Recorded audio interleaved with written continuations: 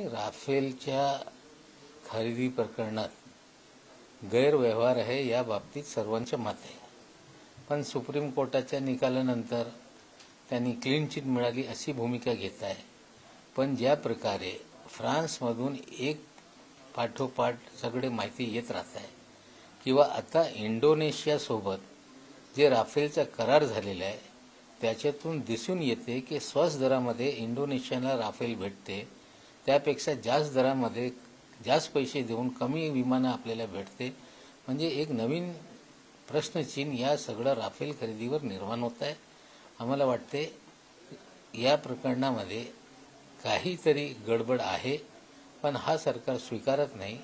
हळूहळू ज्या पद्धतीने विषय बाहेर येत जात आहे आज नाही उद्या याच्यातलं जे सत्य आहे ते समोर येईल आणि निश्चित रूपाने पुढे जे काही कारवाई अपेक्षित आहे सरकार करणार नाही. पण सत्ता बदलल्यानंतर सगळं जे काही सत्य असेल ते जनतेच्या समोर येईल.